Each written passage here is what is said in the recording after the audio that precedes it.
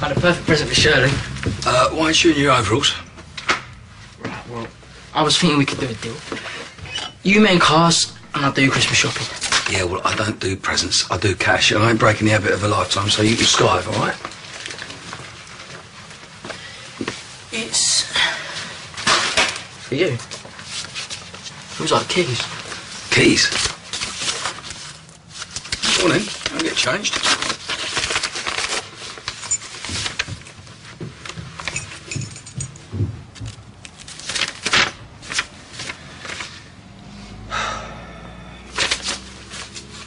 Kitchen's all cleaned up, Trace. Thanks, David.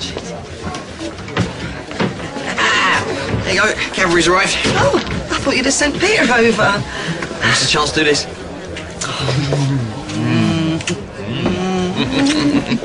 Well, well, that was nice, but um, with the dress, you have brought the right one. Yeah, the one with the big, uh... Shoulder pads. Yeah, yeah. Uh, well, thanks. I just ran out of time. and I've got to pick up Bobby before choir practice. Yeah, but you can stay for a drink, can't you? Um, no, Jane, Jane's in a rush, isn't she? Come on, ten minutes, won't you? Um, we can have a drink when we get home later, can't we? Well, y- y- yeah, but, but um, right. What do you think of this? Mr. Bishop wants us all in red. No, no, yeah, it looks lovely. You don't think the, the shoulder pads are too much? No way. That looks good, doesn't it? Yeah, yeah, of course it does. I mean, love, you'll look fabulous. No, she won't. What did she say? The truth is, Jane, and not even your best friend would tell you this. Only really attractive women can wear red. Excuse me? Wait, who asked you?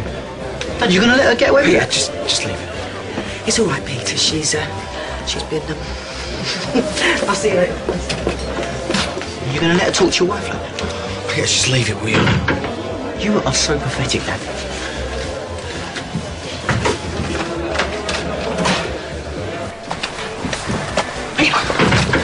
I can explain. Go on, then. Look, I, I didn't want to say anything, all right? Because I didn't want to cause a scene. You're so weak.